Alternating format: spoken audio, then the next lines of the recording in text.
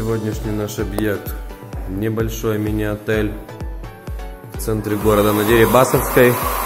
Сейчас идет подготовка оснований. Здесь у нас вот такая везде красота.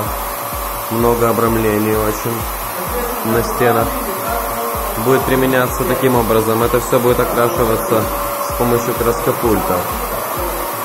Сейчас стены подготовлены, прогрунтованы грунтовкой акриловый элемент и нанесен подготовочный слой краски фонда де кварца.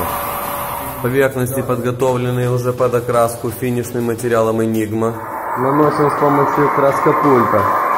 Остальная плоскость будет тянуться вся инструментами, малками, шпателями. Ребята проделывают оклейку черных панелей.